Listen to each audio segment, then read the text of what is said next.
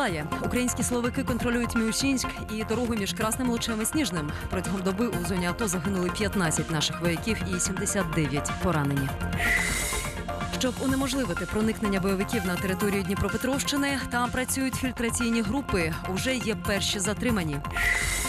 Кабмін на закритому засіданні схвалив законопроект, яким впроваджує санкції відносно Росії. Закон Рада голосуватиме у вівторок. Обмеження зачеплять 172 фізичні особи і 65 юридичних. Невідомого, що жбурнув гранату, яка спричинила вибух на європейській площі, затримали. Двоє людей поранені, але не критично. У ефірі новини UBR, я Людмила Добровольська. Вітаю вас. Росія продовжує постачати бойовикам на Донбасі важке озброєння. Біля Красного Луча вони розгорнули 15 установок град. Але попри це, українські військові перерізали дорогу між Красним Лучем і Сніжним. Це був останній шлях постачання бойовиків у Донецьку і взяли під контроль Міусинськ. Протягом доби у зоні АТО загинули 15 наших вояків і 79 поранені. Далі ситуація на сході станом на тепер.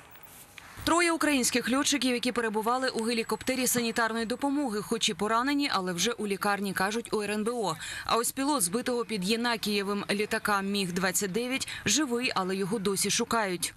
Льотчик зумів е, відвести літак від житлових районів, катапультуватися, та літак впав е, північно-західному районі міста Горлівки. Також був підбитий е, вертоліт Мі-8. Е, Це санітарний вертоліт, який виконував завдання по перевезенню поранених солдат. Терористи знали про переліт вертольоту. Е, Також з ними було погоджено, що вони не будуть стріляти по даному вертольоту. Але знову ж таки. Обстріл вертольоту свідчить про те, що з терористами домовлятись не можна. У тому, що літак і вертоліт збили бойовики російською зброєю, у РНБО не сумніваються. Зброя, з якою збиваються наші літаки, постачається з Росії. Підтвердження цьому це фотографії арсеналу, захопленого нашими військовими в районі Красногорівки. У зв'язку з цим виглядають особливо цинічними заяви Російської Федерації про необхідність гуманітарної допомоги для терористичних організацій, оскільки на цих фото ми чітко бачимо, що саме Росія, що саме Росія розуміє під гуманітарною допомогою. Наслідки вчорашніх денних та нічних обстрілів у Донецьку це зруйновані лікарня, місцеве кафе та житлові будинки. Вибуховими хвилями вибиті шибки на вулицях, вирви від снарядів. Учора терористи знову продовжували цинічно обстрілювати з важкого озброєння житлові квартали населених пунктів. Так, на околиці села Мар'янівка Старобишівського району під час артобстрілу в кафе Ахдам влучив снаряд. У результаті вибуху загинула жителька Донецька, робітниця цього кафе. У селі Васильівці Ясинуватського району та у Сніжному внаслідок обстрілу бойовиків в приватні будинки влучили снаряди. В результаті вибухів загинули мешканці цих будинків. Вчора о 21.30 у Донецьку терористи обстріляли з артилерії центральну клінічну лікарню номер 1 Снаряд, який влучив у лікарню, вибухнув. В результаті помер водій швидкої. Градами стріляли у Горлівці. Місцеві кажуть, зайнявся супермаркет на автовокзалі. А під час обстрілу Іловайська бойовики пошкодили газопровід. Через це постраждали п'ятеро мирних жителів. А місто залишилось без газу. Бої точаться і навколо Луганська. У РНБО звітують за останню добу українські військові неодноразово вступали у зіткнення з бойовиками, але по населених пунктах сили АТО не стріляють. Невтомно запевняють у РНБО. Шосту добу сам Луганськ залишається без світла, води та зв'язку. Місцеві кажуть, стрілянина в місті не вщухає. За останні 24 години шість мирних жителів були поранені. А ось шестирічна дівчинка померла в лікарні. Повідомили в обласній держадміністрації. Тим часом із території Росії тривали обстріли українських силовиків. 15 військових загинули, 79 поранені. П'ять разів російські безпілотники порушували повітряний простір України. А у Красному Лучі бойовики розгорнули гради. Не припиняються поставки важкого озброєння для терористів з території Росії. Так, вчора о 17.45 в районі міста Красний Луч Луганської області зафіксовано розгортання бойовиками 15 установок ракетно-залпового вогню «Град». Попри це, українські військові продовжують активну фазу АТО. Звільнили ще два населені пункти від бойовиків: це Міусинськ, що на Донеччині, та Пантелеймонівка на Луганщині. Таким чином вони відрізали бойовикам деякі шляхи постачання зброї.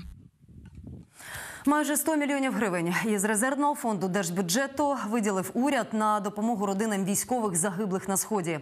За кожного полеглого сім'я отримає 609 тисяч. За даними на кінець липня у АТО загинуло 363 військових. Тож виділених кабміном грошей вистачить хіба половині родин загиблих. Добровольчий батальйон Айдар має пройти переатестацію. А вже із бійців, які задовольнять усім її вимогам, сформують спецпідрозділ збройних сил. Таке айдарівцям особисто повідомив міністр оборони Валерій Гелетей. Для того приїхав у місце дислокації батальйону.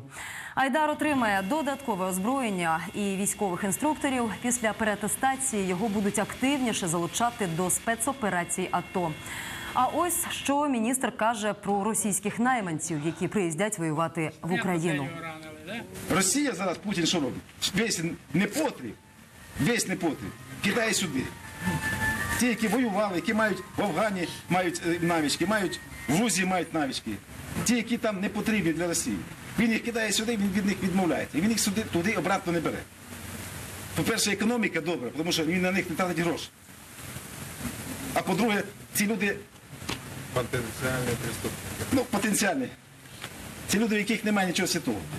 От вони приїжджають сюди, як на сафарі.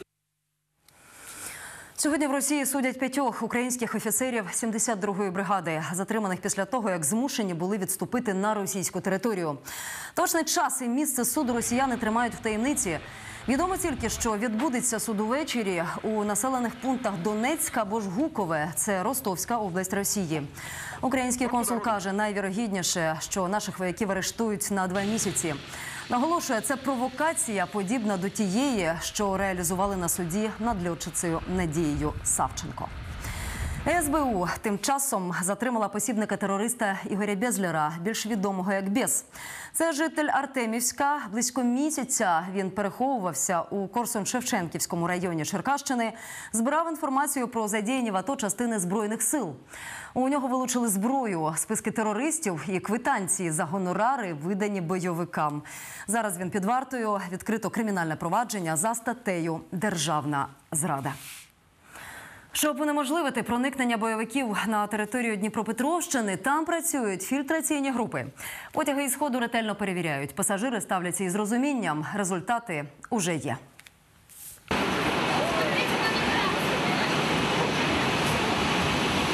Потяги із зони антитерористичної операції у Дніпропетровську тепер зустрічає і міліція із собаками. Пасажирів обшукують, речі перевіряють прикордонники і транспортна міліція. Усе це фіксують на відео. Пасажирів затримують ненадовго. Огляд триває кілька хвилин. Під пильним контролем міліції також територія навколо вокзалу та зупинки громадського транспорту. У службі безпеки такі заходи вважають цілком виправданими. Враховуючи, що останнім часом правоохоронці викрали спроби проникнення у Дніпропетровську область диверсійних груп, ввезення в регіон зброї, вибухових речовин та затримали зловмисників, СБУ посилила заходи безпеки на об'єктах інфраструктури, запровадила ретельні перевірки пасажирського і вантажного транспорту. Григорій Іванович їде із Сєвєродонецька у гості до родичів у Харкові. Перевірка приватних речей його не дратує. Навіть більше він вважає, що у теперішній ситуації в країні додатковий контроль необхідний. Ну, я вважаю, що правильно треба перевіряти, тому що люди різні їдуть. Ну, понятно, є надо. і передівші диверсанти в форму таку. А у нього откуда там знаєш, що у нього сумки? Може, Мы пенсионеры. вагон какой-то зарази і все. Так що треба перевіряти. Додаткові незручності для пасажирів, які їдуть зі сходу, можуть виникнути через затримку потягів. Насамперед, це стосується транзитних рейсів. Міліції на перевірку потрібен час. Ми створюємо певні незручності для пасажирів, однак вони всі до цього до цих е, заходів відносяться з розумінням.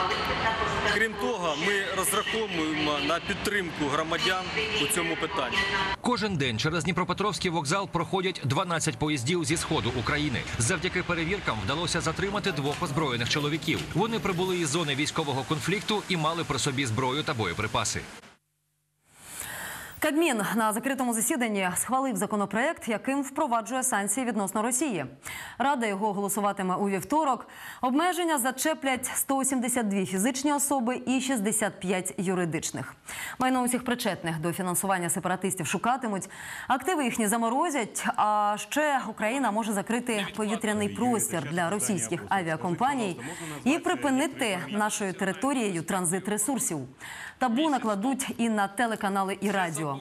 Наскільки російська агресія сприятиме зубожінню Росії, український Кабмін не рахував, а ось українські втрати уже знає. в самому негативному сценарії для України перший рік втрати, які можуть бути не тільки з-за санкцій, а за агресивної політики Кремля 7 мільярдів доларів. Саме тому нам потрібні європейські ринки, саме тому нам потрібна допомога наших західних партнерів. Сьогодні в Україні сяде перший літак з Канади із спорядженням для військових у зоні АТО на 4,5 мільйони доларів. Ну, а Росія і далі накладає обмеження всередині країни. Відтепер безкоштовний інтернет у Росії тільки за паспортом. Ще про події у світі коротко Ярослава Марущенко. Московський міський суд відмовився звільнити із СІЗО українського режисера Олега Сенцова. Таким чином, судова колегія відхилила скаргу обвинуваченого. Тому режисера за ґратами залишили до 11 жовтня. Олега Сенцова разом з іншими людьми затримали в Криму у травні. За кілька днів його перевели до московського СІЗО. Російські спецслужби інкримінують режисеру підготовку диверсій і терактів у кількох кримських містах. Сенцов усі звинувачення відкидає і заявляє, що не змінював українського громадянства. Канада передасть українським прикордонникам спорядження для спецоперацій. Про це заявили прем'єр Стівен Харпер і міністр оборони країни Роб Ніколсон. Зокрема, до зони АТО відправляють шоломи, бронежилети, захисні окуляри, медичні аптечки, намети і спальні мішки. Вартість обладнання 4,5 мільйони доларів. Перший літак зі спорядженням в Україні вже сьогодні. Таких рейсів буде кілька. Литва також заявила, що планує передати українським солдатам шоломи, бронежилети і куленепробивні щити. Про це стало відомо після зустрічі глави литовського МВС з українським послом. Обсягів допомоги не уточнюють.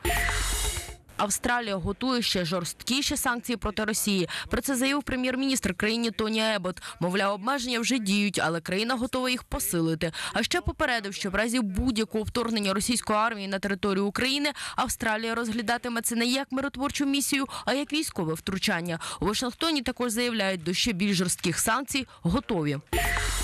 У Росії безкоштовний інтернет тепер буде тільки за паспортом. Прем'єр Дмитро Медведєв підписав постанову, за якою підключитися анонімно до відкритих Wi-Fi мереж уже неможливо. Крім паспортних даних, оператори також визначатимуть обладнання, за допомогою якого клієнт під'єднався до гарячої точки.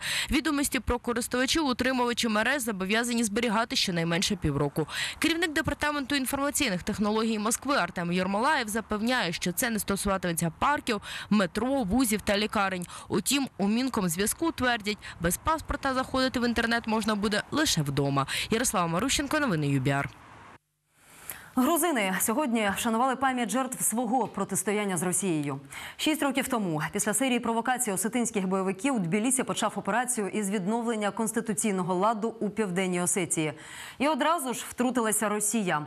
Вона ввела у Грузію свої війська під приводом захисту громадян Росії. Після п'яти діб жорсткого протистояння, що його Москва назвала примушенням до миру, Кремль визнав незалежність Абхазії і Південної Осетії, але суб'єктами федерації їх не зробив. У тій війні загинуло понад 400 людей. Це дані Тбілісі. Але слідчий комітет при прокуратурі Російської Федерації документально підтвердив загибель 162 мешканців Грузії.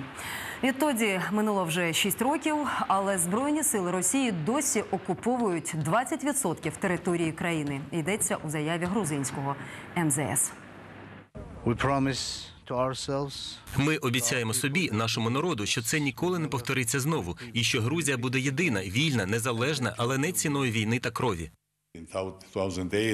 У 2008-му абсолютно зрозуміло, що сталося. Це була майстерно виконана російськими військовими операція в південній Осетії та Абхазії. І те, що сьогодні відбувається в Україні, ще одна демонстрація російської політики, ігнорування незалежності та суверенітету своїх сусідів та нехтування міжнародними законами.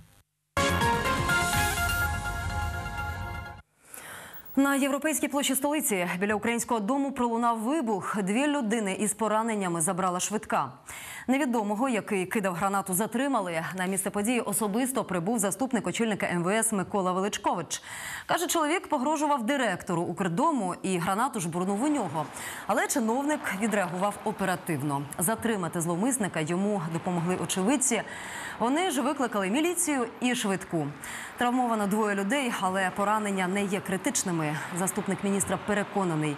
Людей, що зараз отаборилися на майдані, треба прибрати звідти остаточно. Стояв спиною, розвернувся, бах, і двоє лежать. Все, вся історія. Дідушка в щоку, пацанюра в губу. Все, що там було.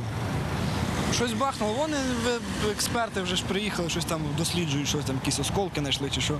Вони скажуть, чи то було самодільне, напічкане якимось железячим, чи то було щось таке.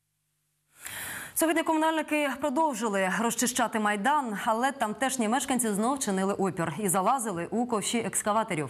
Однак барикади на майдані біля будинку профспілок таки прибрали. Під час прибирання комунальники і міліція діяли у рамках закону, наголошує генпрокуратура. Порушено кілька справ за фактами вилучення зброї у людей, які називають себе самообороною майдану. У наметах, зокрема, жили молодики, які вдавалися до розбою, рекету і крадіжок. І загалом криміногенна ситуація на головній площі Києва останнім часом суттєво погіршилася. Сьогодні майданом пройшовся столичний мер, спілкувався із тими, що досі живуть у наметах. Кондиціонери, холодильники, там, намети. Ми все це зробили, але знаєте що? З великим задоволенням я хлопцям допомагаємо, які то за- зараз знаходяться в зоні АТО. Помагаємо грошми, допомагаємо всім чим завгодно. А у мене бажання, відверто хочу сказати, тут допомагати нема. Тим допомагаємо і робимо все. Для цього. Стрілянина в Ужгороді. П'ятеро у камуфляжі намагалися виламати двері будівлі СБУ. Були на підпитку і поводилися агресивно. Міліціонерів зустріли пострілами, одного поранили. Чотирьох учасників нічних подій затримали, п'ятий утік. Але особи встановлені усіх п'ятьох. Один чоловік затриманий серед тих людей є широко відомий діяч правого сектора Закарпаття. Друга людина затримана є також широко відомий активіст правого сектора Закарпаття. І я скажу навіть більше п'ята людина, ми вже знаємо, хто це є. Також є активіст правого сектора Закарпаття. Почати кримінальне провадження за двома статтями. Ручну гранату і набої до автомата Калашникова у посилці надіслав додому у Львів недавно мобілізований боєць із зони АТО. Адресував цей вантаж рідному брату. До озброєння додав сигнальний патрон, підствольний ліхтарик, мобільний телефон і камуфляж. Тепер може відсидіти за ґратами до семи років за статтею необережне поводження із зброєю. І мер Харкова знов під домашнім арештом. Слідство у кримінальній справі Геннадія Кернеса відновили. За словами його адвоката Олександра Гунченка, стан здоров'я його підзахисного важкий, адже він не повністю відновився після замаху на своє життя. Закидають Кернесу організацію викрадення активістів Євромайдану у Харкові. Гроші на потреби народних депутатів збирали активісти у столичному парку. Хотіли присоромити тих, хто не стидається брати державні гроші на житло у Києві. А на рік це майже 8 мільйонів гривень. Нужденних народних обранців 125. Їхні прізвища роздрукували, щоб показати киянам. Пожертви на депутатів безхатченків показово збирали до 3-літрової банки, а віддадуть їх солдатам у зоні АТО. Навіть не- незважаючи на події майдану, е, більше ніж четверта частина депутатів бере гроші з державної казни на проживання, навіть враховуючи свою зарплатню біля 16 тисяч гривень. Тут, зокрема, є всі від політичної партії Удар, від партії регіонів, від групи Суверенна Україна, від е, е, групи за мир та стабільність, Всеукраїнське об'єднання Свобода. Також політична група економічний розвиток і всі, всі абсолютно політичні сили, які зараз входять в парламент. Коли студентам дораховують 30-70 гривень, люди скидаються 5 гривень, а депутатам повертають такі кошти. Ну просто ми не можемо стояти і нічого не робити. Ми, хоча б звернемо увагу громадськості. Ось так. На цю хвилину все. Але будьте з нами. Інформація оновлюється постійно. Побачимось.